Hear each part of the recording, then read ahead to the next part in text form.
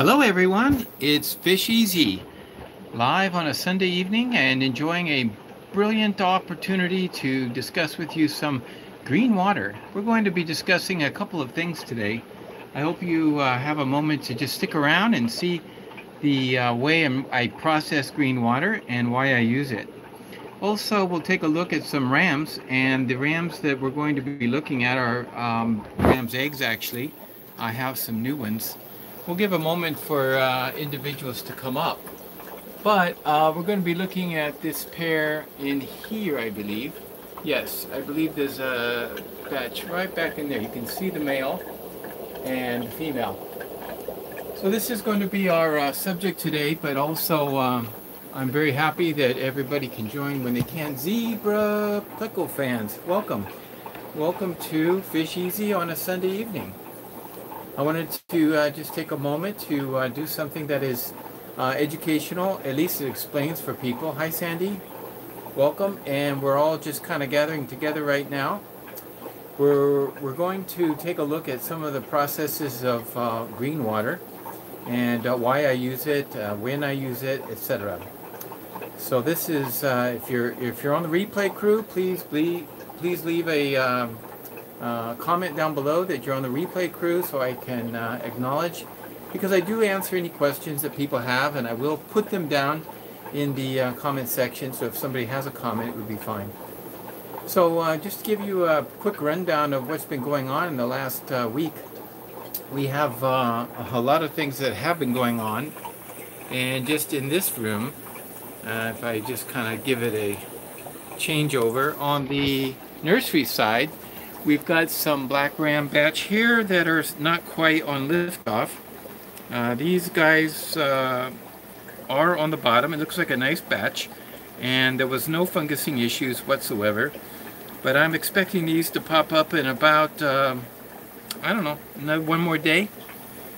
This batch of uh, German blues is looking tremendous. In fact, tonight I think I will move them into a bigger tank because I don't want to wait until they're bigger before, uh, there's just too many in here. So that's another thing I'm going to do. In our small profile um, cans or glass jars, what I'm going to do is uh, I'm going to tonight also combine these Lucies. These are Lucipinus. And I'm going to take these, uh, they've been growing fine and they really do well in these containers. I don't know why, but having no corners I think is definitely a help. But um, I did start giving them pellets like this morning, and that was the first time instead of brine shrimp. And they did they didn't like it at first, but I see it's all cleaned up. So after a while, they finally eat it away. But as you can see, there's a size difference. But in order to save on tank space, they are a colony fish, so they really like to be together. Uh, what I'm going to do is I'm going to combine these three cans now that they're big enough. At a smaller age, these ones were too much bigger than the very smallest and they could easily eat them. But now these have caught up in a, into a size level that I can mix them. They are three different batches but not separated by very much. So these three can be put together. I'm going to use one of these uh, two and a half gallon uh, cans. You, you may recall I had a five gallon up here on the top. So now I'm going to redesign the top uh, shelf here and just to hold one, two, three, four two and a half gallons with the purpose of having places to put newborn, uh, not newborn, but you know, small fry batches like these. And uh, here is interesting. This is a, um, uh, this is also a German blue batch, and they went on liftoff today. So I haven't fed them yet. I haven't started feeding them, and there was one of our subscribers that also had a situation where he was um, losing a lot of fry even before this stage. So we were trying to get to the bottom of that. But this is when they come into liftoff. They're at the top now. So today, um, they're going. The first feeding will be vinegar eels because the eels will stay in the water column for at least 24 hours. So they will have plenty to nip, nip at, and I will probably reduce the uh, flow now that I don't need it so much. I just want to break the surface, but if they're going to hang out at the top in the in the and I want them to be able to um, attack and go after the um, vinegar eels. Um, here uh, we got a new batch of, of uh, this is um. This is uh, angelfish. So this particular pair is the same pair as these, a later batch, but these two are going into a 20 gallon. There's a lot of shifting around on the weekends. And uh, these these came out of a pair of uh, Aqua Malik's angelfish. And so they were the red caps gold um, pair. And they're just, they've done very well here. Uh, just so you know, I do do change the water um, two or three times a day.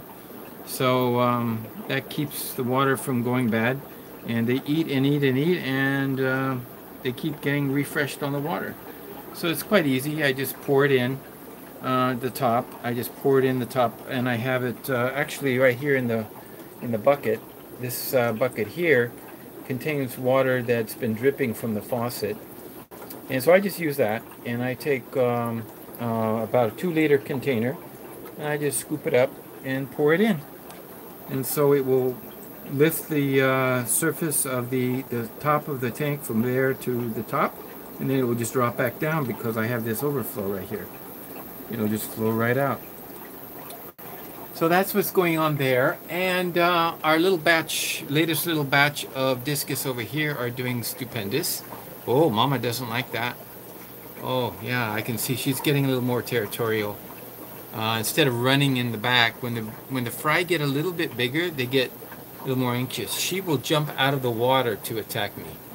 Uh-huh, she's ready to go. Let me see if, oh, see if she goes for it. If I put my finger in here, she sometimes attacks it. Yeah, she is quite a mama. There's a good good pair. They take good care of their youngsters. And I'm going to, uh, uh, as a matter of habit, I'm going to take these fish and move them at three weeks of age. So these were hatched uh, on July 20th. And so at three weeks of age, I'm going to, today is August, what, 8th?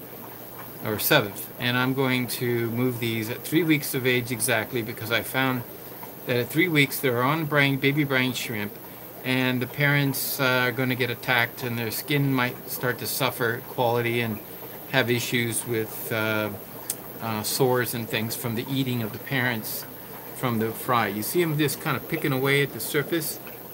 So watch them. They'll just kind of like dig in. They're just digging in. You see a couple of them. I saw one second there. They just kind of look at look at the papa. You see how they're just eating the skin, the mucus uh, in in the skin that is produced. But they'll start eating the scales when they get hungry. Though. Let me. Uh, let me just while I'm here, I'm going to grab some baby brine shrimp. And I do this uh, as often as I can, maybe two or three times a day. With my left hand, I'm just going to pull this up. And I'm going to put it in. And we'll just put in a little batch and da-da. So watch the fry. They're to start eating. They're to start eating that. Let's see if I can hold the camera still for a second. And as you can see, once they see the baby brine shrimp, they go after it and they fill their tummies and they're not so hungry. And then they kind of leave the parents alone. So the more often you feed them, the better off they are, the faster they grow. And uh, it's just a matter of being very diligent with uh, constant small feedings throughout the day. So that's what I'm going to do there. Um, yesterday I was cleaning this one out. This is uh, ready to go almost. I just need to add a strainer on the bottom of that uh, siphon tube for when I make water changes. I think I will add the um, over the back filter that I put normally there. It's not in there installed right now, but I'm going to go ahead and put it in and use this uh, again as a grow out. A little update on the other pair of discus. They are, of course, laying right now. They're in the middle of uh, laying eggs. Uh, they just had a batch, but after the fry became free swimming, they disappeared. Probably ate them.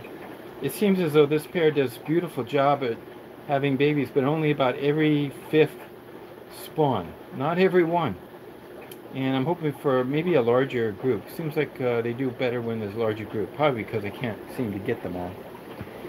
So we've got um, uh, several things going on this week. Uh, I uh, just want to show you something exciting before we get into the real meat and potatoes of our live stream today. These guys are looking stupendous. Look at the color in these um, threadfin rainbows. So I haven't put a mop in yet, but I think it's about time. I've got uh, more males than females. I might break them up into two tanks and put, um, the males are showing off, look at that. They do that. They're, they're just they're just a neat little fish, but they're a nano fish. So uh, they do grow very slowly. So if I have uh, any fry, I do know there's going to be some real issues with uh, raising the fry. Initially, uh, paramecia works very well because they have small mouths, and then I get to the point where I can feed them baby brine shrimp. But um, once I get that going, uh, I, I, should be able to do okay. I'd like to breed uh, a number of these. If I can get uh, several several um, trios going, it would be awesome. So now uh, the last, uh, see anything else I want? Oh, we're gonna we're gonna take this pair here I think there's the female, and the male is a electric blue. And I noticed that they have eggs back there. I don't know if you can just barely see it in the in the film. Oh yeah, in the reflection. Look at the reflection. So right down, you see right right. Oh, my finger's too big. Right down in there, you can see in the plate. That's the reflection of the tank on the right. And good a good sized batch. We're gonna take those out today. Okay, let's get busy. I think. Um, there is um, there's uh, a black ram pair that we, we were looking at those babies lifting off. Not quite lifting off. Well, that's from this pair here. And they've done very well. So it's a beautiful pair. So I hope uh, I'm hope they're gonna be able to. I have a couple of spare females.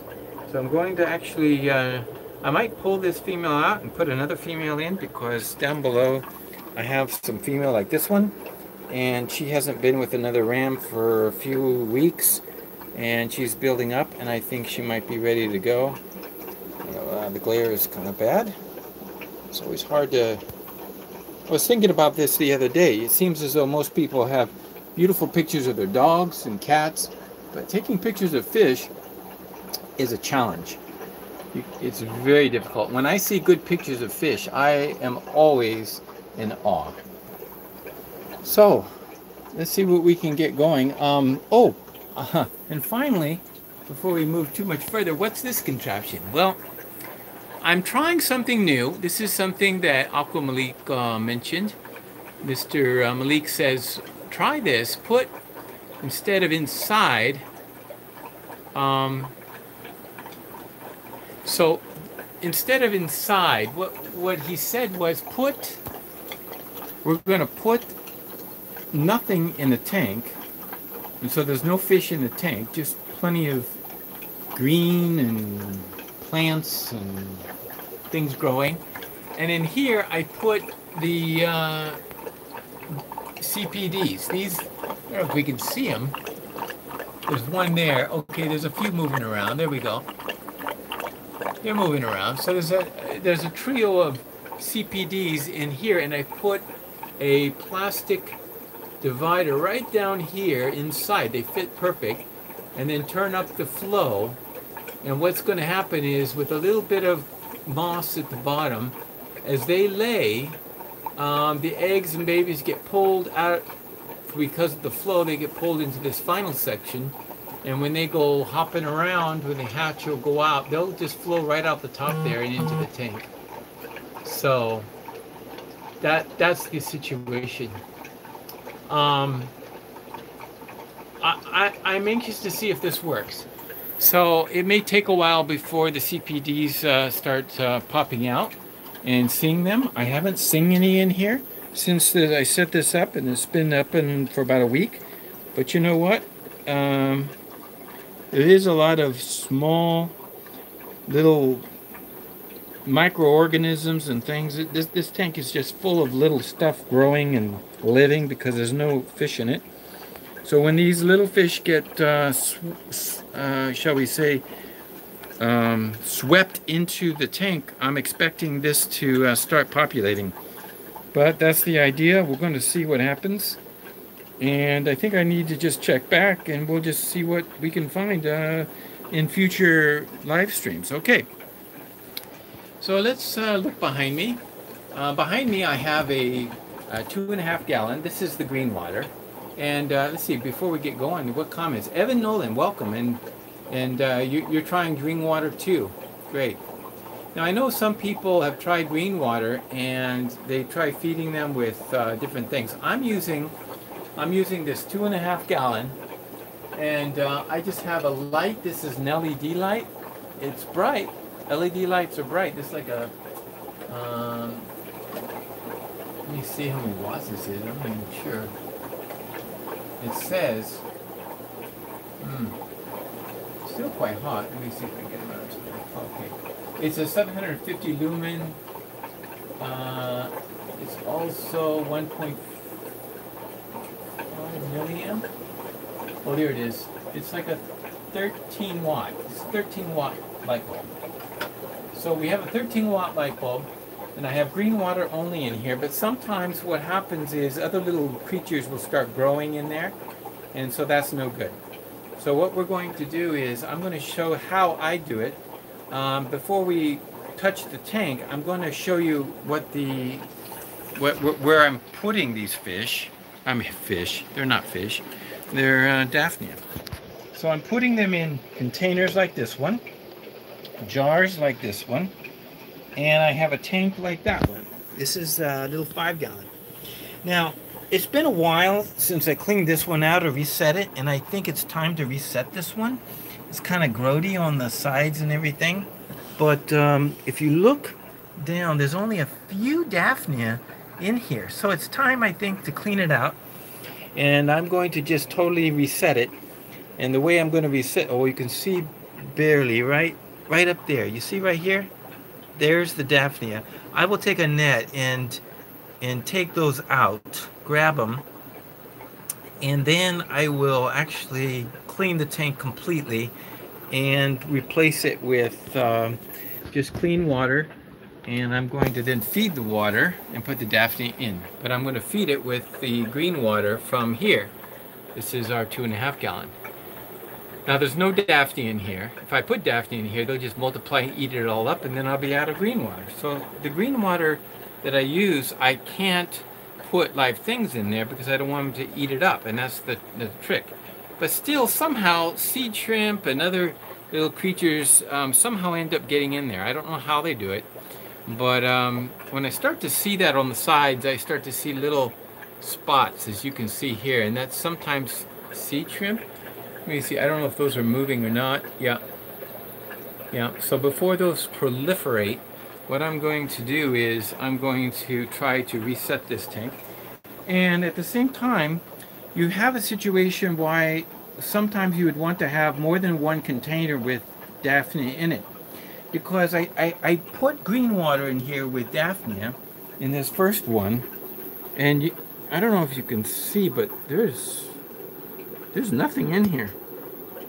Okay? They died out. This one, if I can see anything in this one, looks like there's one. Maybe not. I don't even see what that is. That, okay, there's one at the top here. There's just a tiny little one Daphnia. See it moving around? That's not much. But on the other hand, this container as you can see here, they're thriving. So sometimes they thrive and sometimes they do not. But it's very important. Hey, Stubbs Aquatics, thank you for joining. So glad you could join us on a Sunday evening. I I think that in in reality, um, there's different reasons why they die out. Because I see over here, it's not a matter of food. There's still green water in here, and but they still died out, and I don't know why. There must have been a reason, but instead of worrying about it, I'm just going to reset and I'm going to uh, use the Daphnia in this particular container to reset those other tanks, those other jars. So that's what we're going to do today. I'm just going to demonstrate how I do that. First thing to do is, um, uh, first thing I need to do is go ahead and, and um, I think I'm going to grab a container that is going to hold a, a um, an amount of green water that will be used for seeding the next batch. So what, what I'll do is I'm going to siphon out uh, two liters and I'm going to take a two liter, uh, just two liters is all I need. Now I'm going to take my siphon, I'm going to hold it about the center of the tank. The reason I'm going to put it in the center of the tank is because the center of the tank has less likely I'm going to be grabbing these little seed shrimp because they hang out along the walls and anything else. I don't want, definitely don't want to uh, take off the bottom because I just want the, the algae that's growing and suspended in the water. That's what green water is. It's a, it's a free, free swimming um, type of algae. So what I really want to do is take this algae and the free swimming algae and try to get it as pure as possible. So that's why I'm going to take it from the center. And I'm only going to take uh, two liters. And then the rest, I don't mind um, using even seed shrimp, I don't care. I can put that in the bottles that I'm going to be refilling. Uh, those two containers, for example, that they died out, I'm going to clean those. I'm just going to uh, scrub them out with a, um, um, a brush and then I'm just going to reuse them. The reason I don't care if there's seed shrimp and other creatures in there is because I'm going to be feeding from those containers the fish. And if I do see, I don't like seed shrimp growing in my tanks, but I have found that uh, only on occasion does that occur where you have a multiplicity of seed shrimp. But I think that the seed shrimp itself um, can get eaten by certain fish. So I, have noticed that, yeah, there's been occasions when, when they kind of got out of control. But you know what? Frankly, um, they they're in there and they get eaten or they don't get eaten, but most of the time they get eaten. So and they don't they're kind of harmless unless they were in huge numbers and that's another issue. Okay, so let, let's see how we're going to do that. What I'm going to do is I'm going to grab Okay, I'm to grab, let's see if I can put this where I, you can see. I'm to grab the tanks and I'm to talk over there. So hopefully uh, everybody can see me.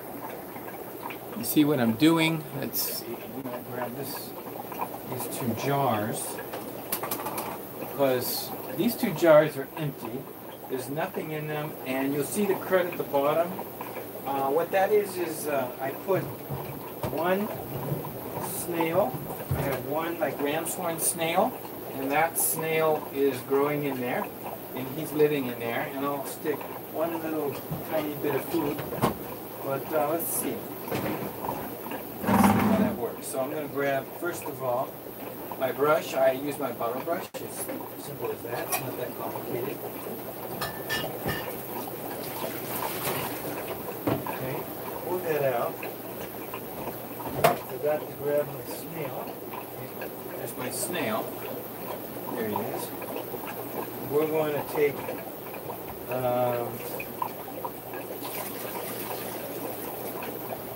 I think I have any baby snails in here. No. No, no baby snails. So I'm just going to take my brush,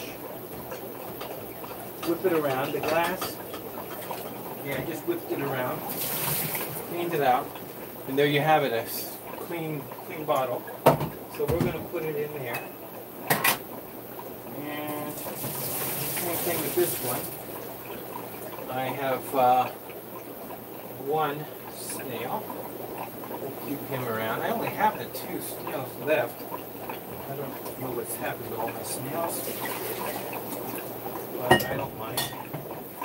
Clean that one out. And that one's done. Okay, so I have two bottles cleaned out. Not much to it. The green water's gone what was in there was kind of getting pretty, so I have two clean glass jars. We're going to use those. Also, I'm going to um, grab a container. Could be anyone. This is one. This two liter also. And this wide mouth container, I'm going to siphon the first siphon out of that tank into here as to seed the next batch. So let's take, um, I'm going to take this, this hose and we're just going to do that. And then what's after this, we're going to fill the, the other two glass containers for feeding. Okay, change the camera around. Okay, there you have it. So, so now what I'm going to do is I have the jars and I have the container for reseating or pouring back. And I have, of course, I haven't forgotten about the two snails, so I'm just going to throw the two snails in the jars, one in one. Um, the reason for the snails is because the snails eat um, little food and it produces a little bit of waste and then that's good for the environment. So it's like what you would naturally find. So it kind of mimics a little bit of a stable aquarium kind of thing. So let's uh, take the container and another jar. Okay. So you see what's down below. I'm just going to show you. Ooh, camera's on that side. Hold on. So you can see down below, I just have on the shelf there, there's the uh, containers. And I'm just going to drain. I'm going to hold this in the middle and then pull out. It doesn't take long actually. I'm filling up two liters straight out of the center. Okay, that's the two liters. Now for the jars, I'm just going to fill the jars. There's one jar. There's two jars.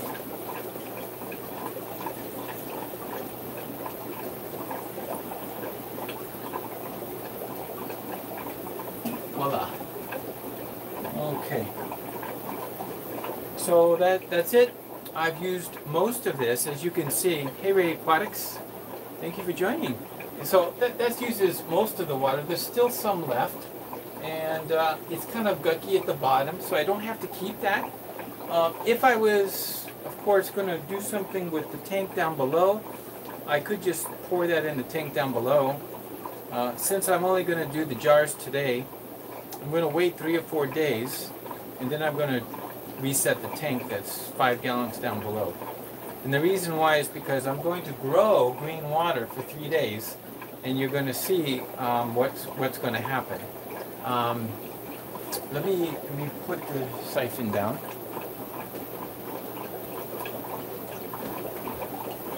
Demonstrate what I have here now.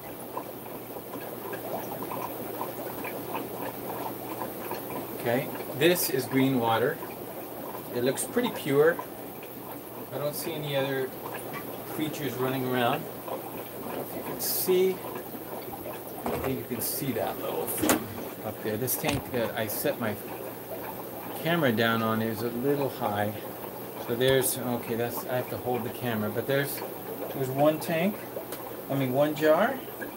Here's the second jar, and I will take um, actual in fact, what I'm going to do, I forgot. Let me go ahead and take the last of this, and I will use it to feed the um, Daphnia from the other jar. So, now that I, I, forgot, there is a third jar, isn't there? There's three, two, two glass ones, and then there's the plastic ones. So, let me uh, let me see what I can do to share all that. Okay, so now um, here's my seed. But I'm going to pour that back into the into the tank above after I clean it.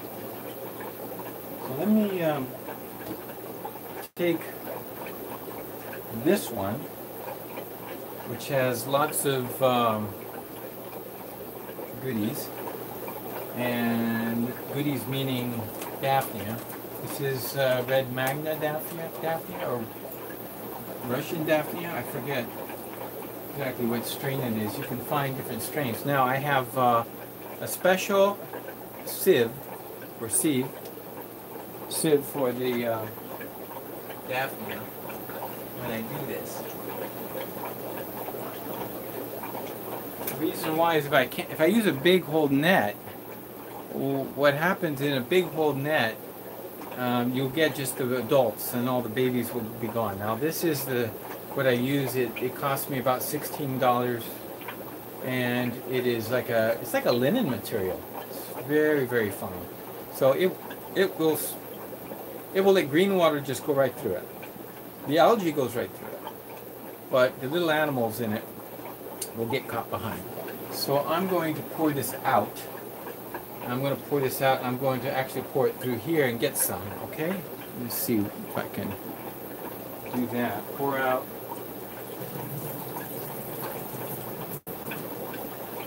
The amount to start with. Okay, as you can see, what I've done here is now at the bottom, I pour, you see the Daphnia. So I'm going to take the first one and I want to put the Daphnia. Let's see if I can show you guys. I'm going to take this at the top. Let me just turn the camera a slightly bit so you can see. So I'm just going to take this with the Daphnia and push it down. Now watch, it goes into the water immediately all the Daphnia goes flowing through. I don't know if you can see it. You can see it, I think. There it goes. If it's really in good focus, but you can see the Daphnia, see? So what I just did was pull out some Daphnia, like a tea, like a tea, so like a eighth of a teaspoon of Daphnia into this container. And now it's full, but it's, um, it's okay, it's just a start, and this is what's going to seed the um, Daphnia in this container. So I'll do the same thing with the next one.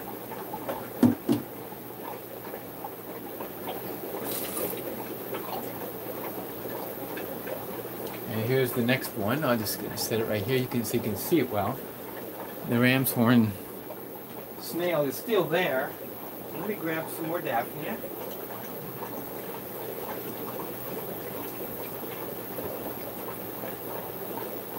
Okay. So here's here's my Daphnia. You can see them in there. So I'm going to seed the new the new one with that. Put them in there. And they go zipping around into the green water. Okay. And now I have two containers with green with Daphnia. And we'll watch them and see. Now the two snails are in there, but the snails need some food, right? So what I use is have uh, some pleco sticks, and these are pleco sticks that you, you would buy, and I just have to have them on hand. I guess any little bit of fish food would work, but uh, I'm just going to put a half a pleco stick. This is what a full size looks like. It's uh, like that. I'm just going to take a half of one, and I'm going to put half of one in there and a half of one in the second. And so they both now have um, a little half pleco stick. And, and the snails will break it down and that's it. So I'll just move these into position where I keep them on the shelf here. I don't worry about giving these light because it seems as though the the amount of the amount of um, um, green water that's in there is actually going to be eaten up long before. I don't have to really, I could put a light over there to let it grow at the same time, at the same rate. I guess I just haven't bothered to put a light. I think if I wanted to, then I could grow, like if I had a light on there for six, eight hours. I think I run at least six hours, eight hours of light on this particular tank. It's on a separate timer than the fish room, so it gets a certain amount of light. So bright light, and now I have this little bit of water left as you can see, or it's a little too bright, let's see. Yeah, there's a little bit of water left. And that's what I'm going to feed the ones that were in the in the container with all the daphnia. So there's still a lot of daphnia, but they need a water change, and they need a water change. And you can see I poured out to get strain out some of the daphnia, but you can see that's half gone. I'm going to take, um, uh, let's see, it looks like it looks like about enough. I'm going to go ahead and just pour it right in here because that'll feed these daphnia. And I pulled out some as well, right? So let me, um, let me grab my, my siphon.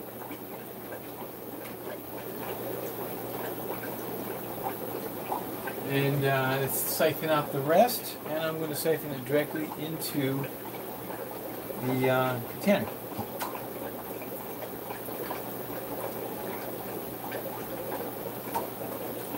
Here it comes. Now maybe I could have poured out a little bit more water. It looks like I could have. But it's okay. What's on the bottom is, is kind of yucky anyway. I'm going to toss that amount of green water. It can go.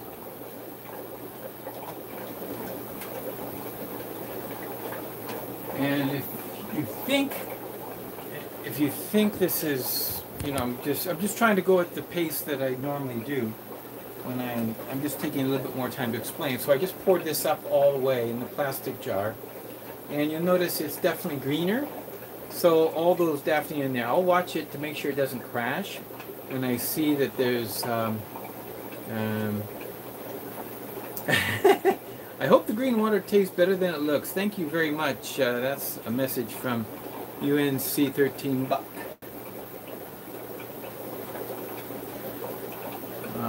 Yeah. I wouldn't try drinking that, yeah.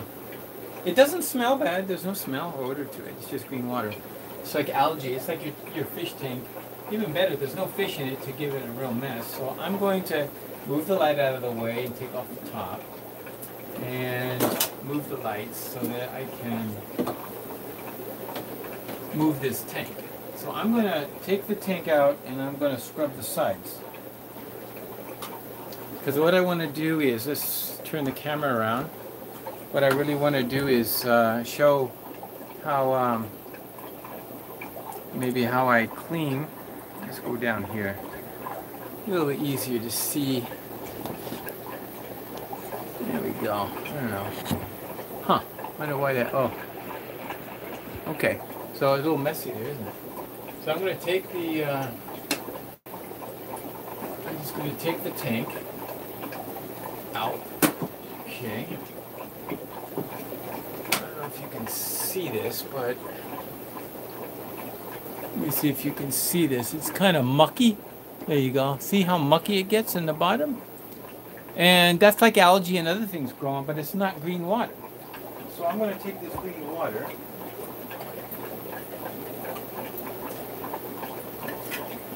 I'm going to get rid of this. And I'm going to give me some, uh, some water. And I'm going to scrub it out. I guess I could do it just twice. What I do is uh, take a, a scratch scratch pad for glass and these scratch pads um, never seem to bother the glass. They're they're specifically not for aquarium use, and I think the reason they put that is on there is because um, if you use them on an acrylic, it'll scratch the acrylic you'll use your acrylic um, very quick. Well, the scratch, you know, you'll scratch it all up. So I don't use it on acrylic tanks. I do use it on the glass tanks. So I think it's because I know what I'm doing and it's not an issue. I've never had an issue using these pads. I do a good job of getting most of the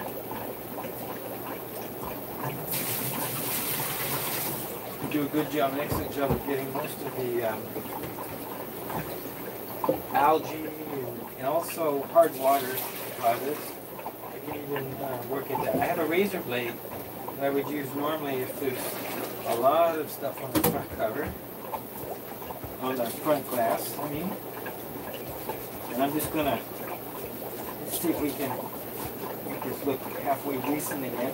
I won't be able to get all the algae out. I mean, without bleaching the uh, tank, it's just impossible to get, you know, the little algae will grow back, but that's why every so often is you're going to reset, you're going to reset the tank. So I have this two and a half gallon.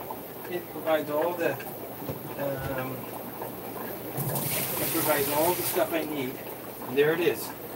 Okay, it's ready to go, cleaned and ready to go. There's a little touch. Let me take my razor blade and touch the top. That hard water ring at the top is there, okay. I'm going to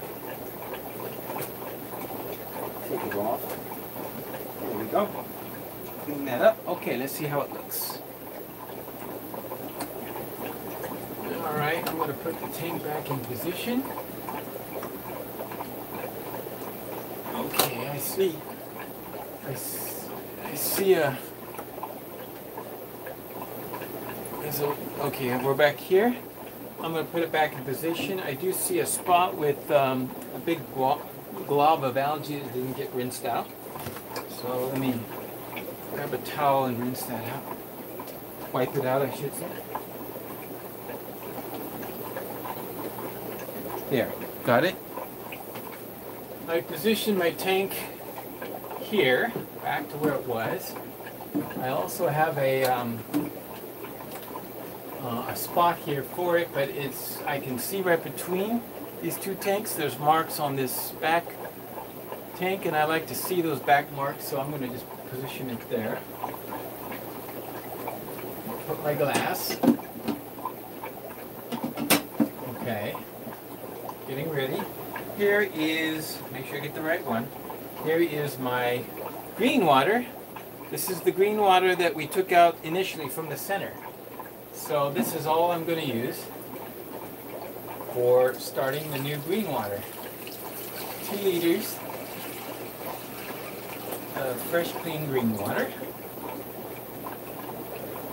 And then I'm going to fill it up with water. From dechlorinated water or, you know, aerated water from my tank right behind. I'm going to turn on the pump, pump it in. So you can see I'm filling it up. It doesn't take long. And I'm just about there. The last thing to remember is you got to feed your green water. Now, a lot of people do it with um, a guppy. Some people I've seen even put a guppy in there and they survive just fine. They seem to thrive in green water. Have you ever seen guppies and fish in a pond that's full of green water? You see that it doesn't harm them, although I don't particularly like the fact that um, a fish is swimming around in green water. It just doesn't seem to be as standard way of doing something because, I don't know, to me, I don't know, it just seems like this is much easier to be now. Now, the difference between what you're looking at now and what we had there just a moment ago is frankly, the only difference is that it's clean. There's no more little bugs on the, on the walls. And uh, also, there is something else to consider, and that is it's more transparent. So I've watered down the green water. It's not nearly as thick as it was. It's watered down. So what you see is kind of like, okay, it's like green tinge. I probably could get away with just a quart of um, green water to start, restart. But where's the food? So I use fertilizer that's liquid because it's so convenient I just buy it and do a pump. So I go to the um, um, I go to the store, I buy something that's, this is the one I use, you may recognize it. So this is simple because I just pump. I, I give it, this is two and a half gallons, I give it more than the regular amount that you would give an aquarium. And I go one, two, and that's really for 20 gallons, and this is only two and a half gallons. So it's really high amount of food in this little container.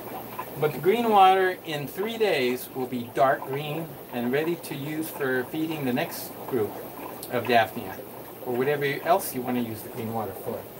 I also like to um, put in a small amount of aeration.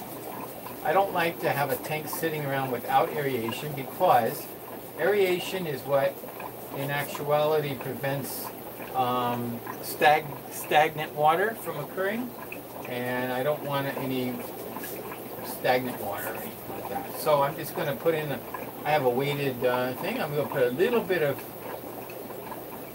that doesn't even, not even a bubble. I just want a tiny little bit of bubble. So let's see, why is that not bubbling? Is it pinched or is it just, there we go. Got it. Okay, it's just building up pressure. Okay, there we go. See, there's a little bit of... See that? It's, it's hardly anything. You can hardly see it. In fact, the camera is going in and out, okay, with the brightness.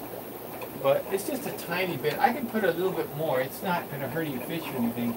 I might turn it up. But I, I just would like to have a, uh, even just a bubble. If I had a weighted, without the um, air stone, I could use that. So right now you're seeing it, and I'm going to close it up and then put my light on it. And there we go. I'm done. Light back over here. This is for the fish. In the next container. Okay. Now this this gets uh, the light directly close to the surface. And what is interesting about it is that when there's not enough nutrients, you'll know. You can tell easily that you need to add fertilizer. And that's because the green water turns yellow. So as it turns starts to go yellow and it's not green anymore, you got to do something quick. You got to give it nutrients because it's using all the nutrients up. So that's what I, I can do. I just look at it and say, oh, I need to add some um, fertilizer, or most of the time I just need to reset and go through the process of what I just did. So in a few minutes of, um, I, I'm ready, it's nice clean, and when we come back next week, you'll see it's going to be super green super dark and ready to go. Any questions about uh, any of that? I guess I know there's one question that nobody's asked, and I know it's kind of important when it comes to green water. Uh, yes, I do sell starter paramecia cultures to the USA folks. It's very simple.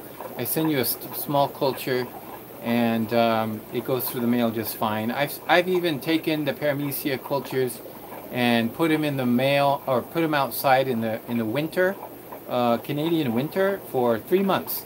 And at the end of three months, uh, I've taken the little container and I've looked at it and I see live paramecia in it. They're, they're pretty stalwart. And so they'll get through the, the cold. So it, when it's cold, they, they do fine. I don't know about the heat. They might, they might, might cause more of an issue. But I think they're pretty hardy. And so uh, a starter is all I can send because I'm not going to send, obviously, a gallon of water you know, or 1.7 or one and a half liters of, of water through the postal system. But I can just throw it in a small container, and I've, I've done this a number of times. It's helped people. So it's all on the website, um, fisheasy.ca. You can order it there. I, I don't advertise my website much, but that's what it is, fisheasy.ca.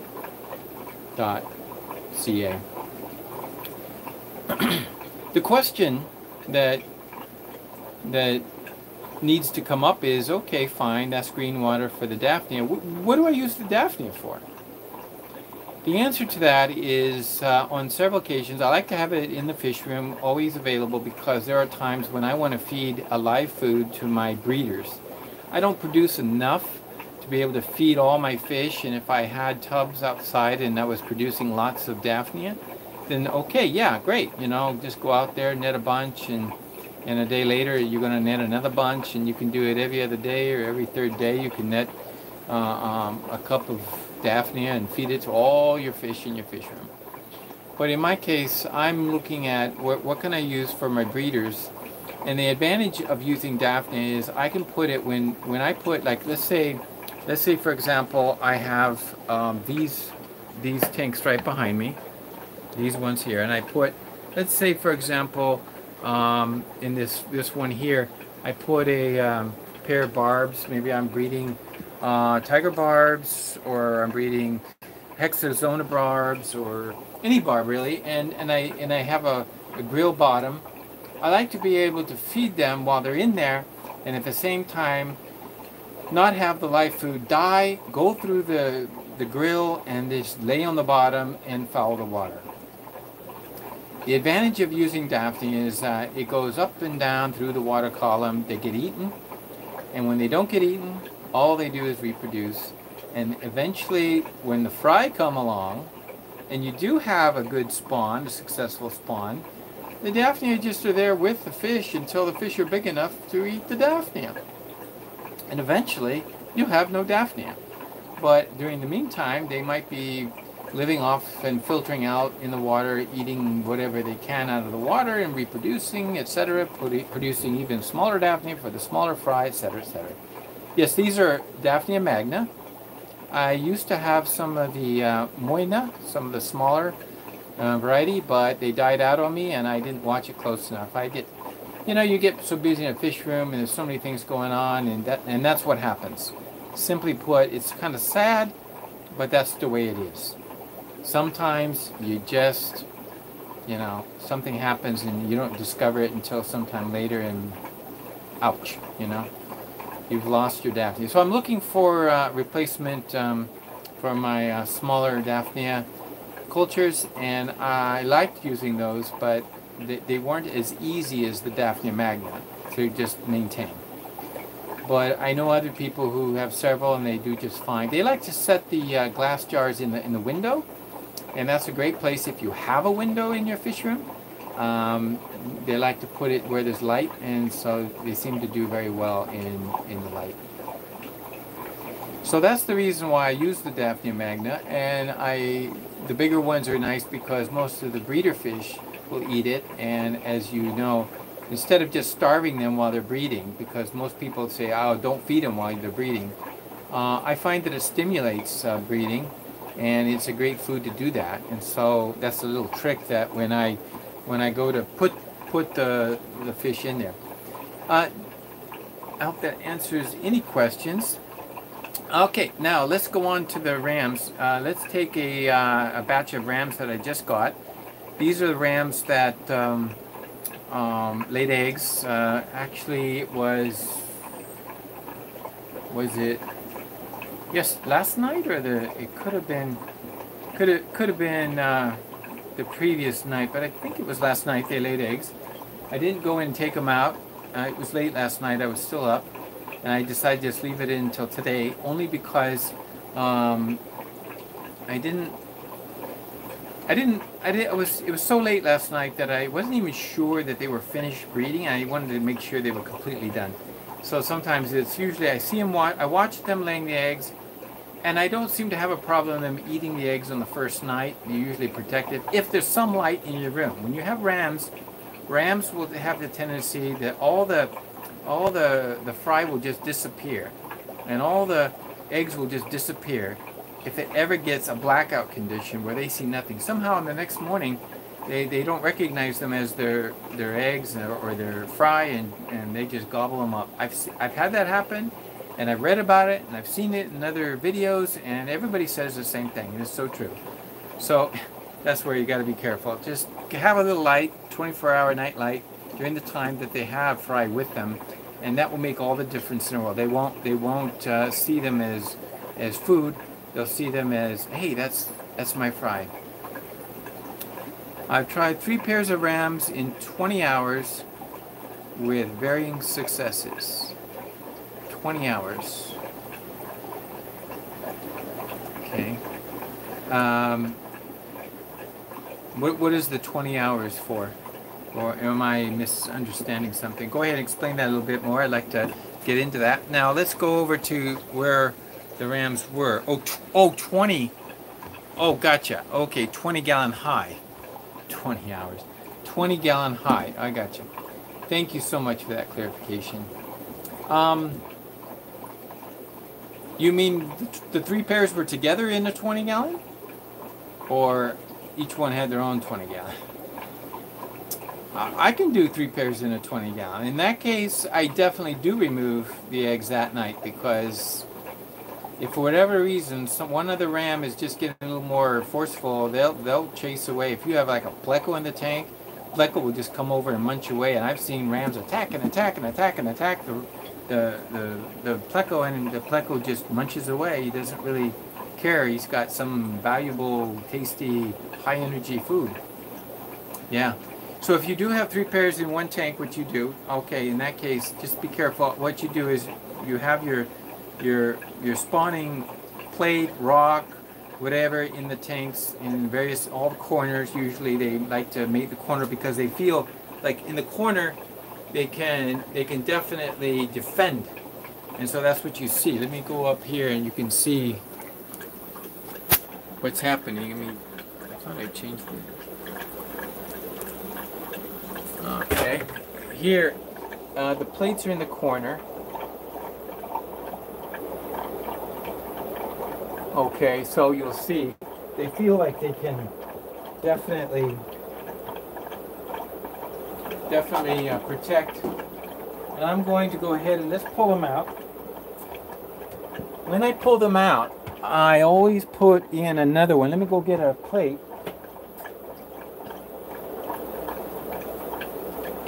I like them to have a replacement plate. So I'm going to pull it out, but I'm also going to put at the same time a replacement plate. Uh-huh. Okay. Okay, there he is. Wow, what a big batch. I'll show you guys this. This is quite a bit. So I'm just going to pull this one out and put in the replacement plate. Whoop, that's a little messy. Let's see what they look like. Wow. Look at that. That's a good number.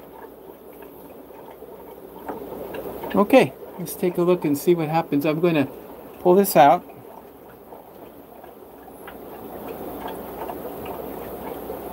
Okay, my hands are all wet. I can't pick up the phone, but let me try. Okay. So here I am. I'm just gonna I'm just gonna pull them like this. I don't need to I don't need to do anything else because there's water inside the plate. It's kind of nice when they do it like this. I, if it was on a rock, I would just have the water ready and then I would take the rock and just quickly transfer it. It's for, for a quick second or two, it's not going to be an issue.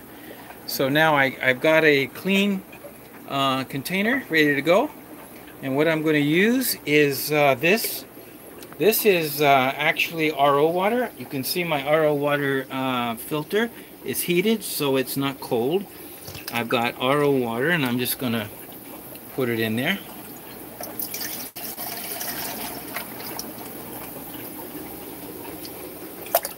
Like uh, can get away with about that much for now. Okay, so then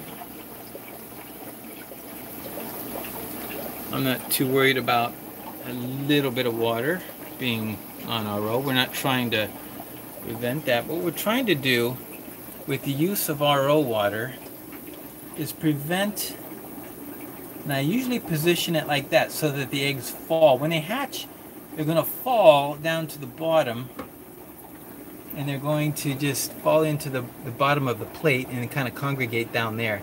So the purpose of the RO water with ram's eggs is to keep them from calcifying and what I find is that during this process it will prevent issues with hatching but if you had really hard water especially, that's why you'd want to do it. But on the other hand, don't worry. Once they hatch, when I change the water, I'm using regular water. I'm not using RO water, so that's the extent of it. So let's ch just check to see what the... Mm-hmm. Let's see what this is. Can you read it? There, 23. 23 TDS. Not bad. I use, I, I don't have a DI, I just have RO water. So usually it's around 9-ish. Maybe by my using a little bit of water from the tank, it, it produced even a couple more uh, levels. But that's it.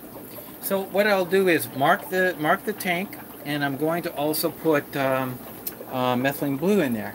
So uh, I've been putting in this situation, uh, since this is going to have to last another day or two, uh, without the parents, I'm going to be blowing. I'm going to put uh, one, two, three, four, five. Let's just do five. And I'll, so all I'm going to do is five. Five drops. I usually take a picture of the eggs and the pair and put it in my notes. But I'm using my camera for this filming, so I'm going to have to do it with the blue. Uh, I don't know if I can take a picture. Oh, oh I can take a picture um, by grabbing it out of the video, I guess, if I wanted to. So now I'm just going to add some air. And I have some air right here. And let's go up here and turn on the air. And the, the purpose of the air is just to circulate the um, methylene blue. But also I'm going to add, I'll, I'll modify this a little bit to get the uh, flow very close to the eggs themselves. So I know you can't hardly see because of the glare in the background. If I stand there, it would take away. Okay, there we go.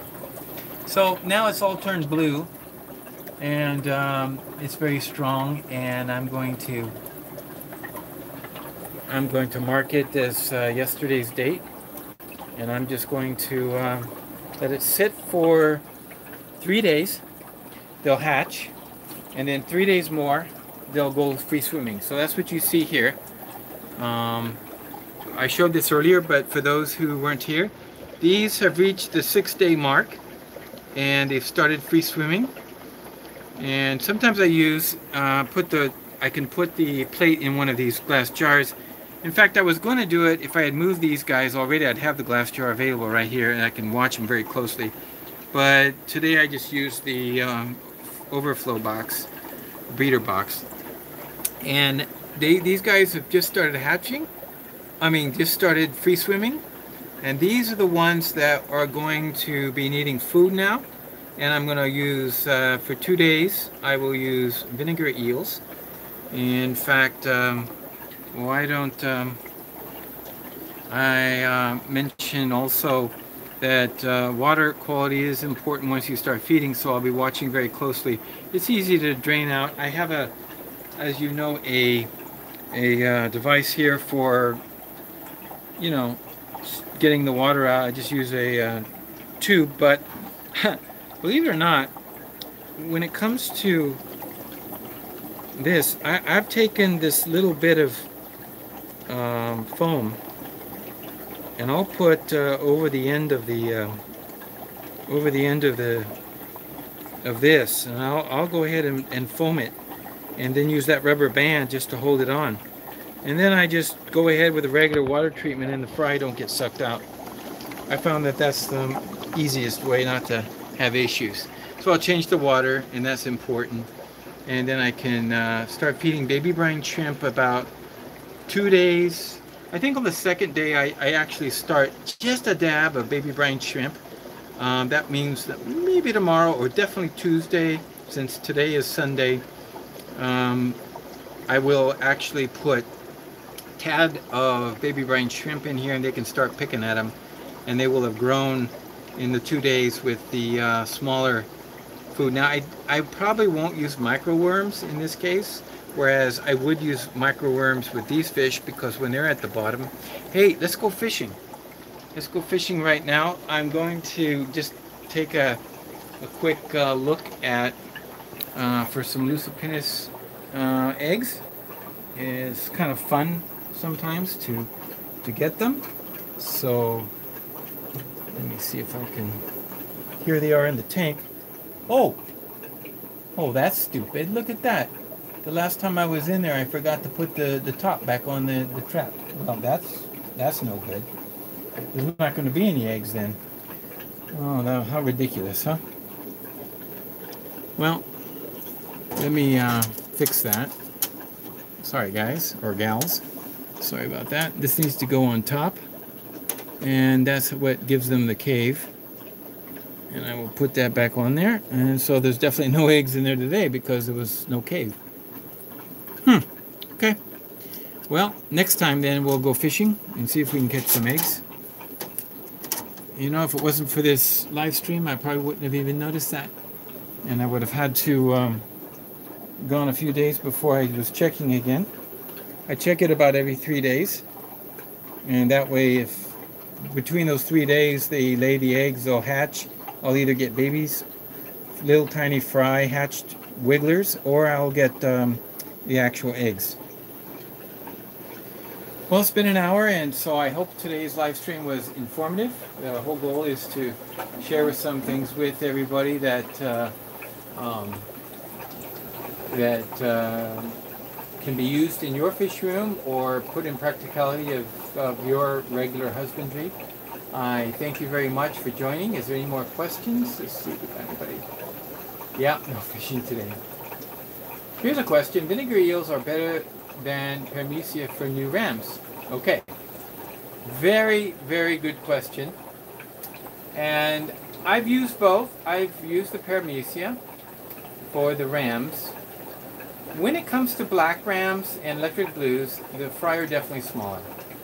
When it comes to uh, electric blues and black rams, I think the, their inbreeding is actually causing them to have smaller fry.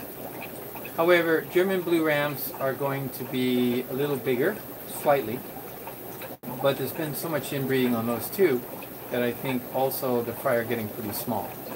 So that's why they don't go straight to the um, baby brine shrimp.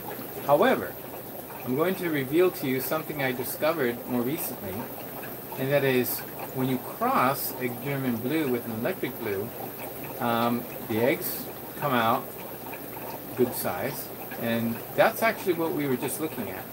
There's a cross between electric blue uh, father and a German blue mother.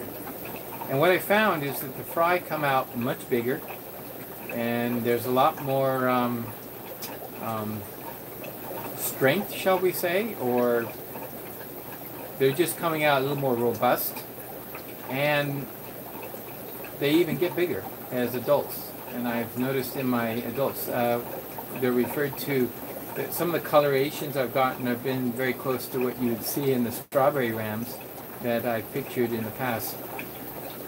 Nice, nice kind of reddish belly with spots on it, kind of resembling the surface of a strawberry. Well, it turns out that the strawberry rams, or the cross, actually they go straight to baby brine shrimp and they, they don't even need either one. But let me go back to your, to your question because I didn't answer it directly. The answer is when you're feeding small, small, small fry, maybe it's CPDs, Danios, or maybe it's um, um, maybe it's uh, the barbs. Definitely, I use the paramecia.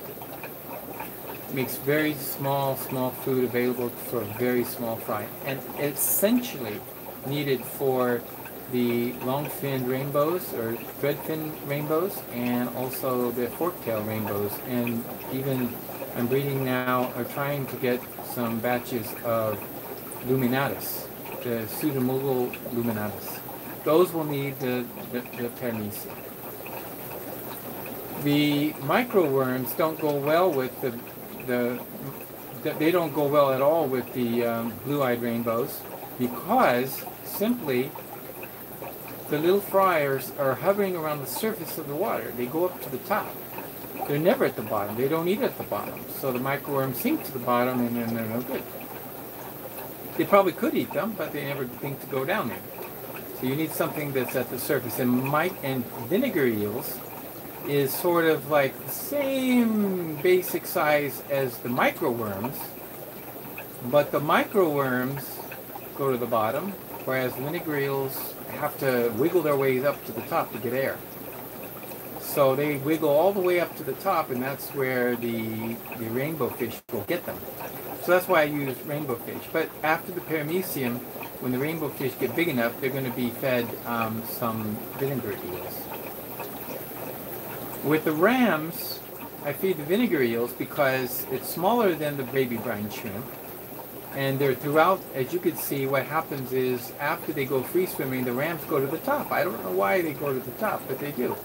And they hover around there, and that is a dangerous time. If you overflow your device, if you're trying to do a water change or something, and you could overflow your container and whoosh, you could take two or three hundred fry and just whoosh them down the drain. I've had that happen, so I feel bad about it, but you know, I kick myself and I say, why did I do that or let that happen? It's just imperfection. Um, imperfect world. My mistake. I forgot that the water was dripping back. I'll just be dripping it. Next thing you know, I'm looking at it and it's dripping all the way down into the sink, and I look in the sink, and then there's all kinds of fry. Those are mistakes that I make. Those are mistakes anybody can make, so be careful. So it's very important. When they're hovering at the top especially, it's like, okay, I have to stand there because if I'm going to do a water change, that's where it's so important to uh, drain and also um, um, drain and then also uh, refill very carefully. Refilling can be disastrous. so that's the reason. I hope I answered your question. Um, those three foods, I find the, the paramecia, the microworms, and the vinegar eels, and then of course baby brine shrimp, the fourth food being a staple. But those are the four I basically use all the time. So that's what I'm going to use. Now while I've been standing here, it's very interesting. Um, just for a final treat, I know, and I think I've answered most of the questions. Yeah, yeah, just just so you can see, there's been something going on over here, and I could see it from a distance. Now watch. Watch the luminatus, the male and the female. The females are going in, and the males are, they're spawning in this mop. See if we can catch them in the act. Females kind of hang around the mop. The males are excited because they're near the mop. And when the female starts poking her head in there, the male, there he is right there. They go right in with her. There they go. And there's two males, and they kind of push her into going, and whoosh. I think they just did it right there. I think inside. And Then she pops out at the top. See him pop out of the top? So we're watching them. They're spawning right now. I was watching them on display earlier, and now all these males, they're getting excited. They're kind of showing off to one another, but they're keeping a close eye on the female. So that's what happens. Over here, another one is doing the same thing. I have two females in the tank. I've got to get a lid on this tank. I've lost two females already, and because the females jump. I don't know why. I've, I've found them on the floor. Um, of course, uh, more in the jerky uh, sort of condition and the next morning, and I don't know why, but I need to get a. It's, it's kind of a hard tank because it's very. It's a it's a custom tank. It's not. It's not something standard. So I. So these are them. They're they're, they're just kind of poking in and out of the mop, and it's, it's kind of neat to see. Oh, she's gonna stick her. There she goes. She's going in. He follows, and then if she he can see her go in. Oh, there she goes. She goes in he follows and she's still poking around. Maybe looking for a good spot. There they go. She came out the other end. Maybe they, they lost her. You know, so they're going in and out of this mop just while we're talking. So I saw that from a distance. I said, you know, I got to share that with you because that's something. Um, it's kind of neat. I love it with the uh, blue-eyed rainbows the different species there are. I've done Gertrude, and right now in the fish room I only have these, the Luminatus, and I also have the Furcatus, and they're kind of neat. So that's the, um, I gotta get busy now. I gotta let you all go so I can take care of this uh, group and some of the others. Um, get them in bigger tanks. Most of these, including this one, they're ready to go into a either a breeder box or one of these two and a half gallons up above. So that's what I'm going to do. All these have to be done this weekend. On the weekend, it's fish move time. Every weekend, it's like that. Crazy amount of time moving fish around.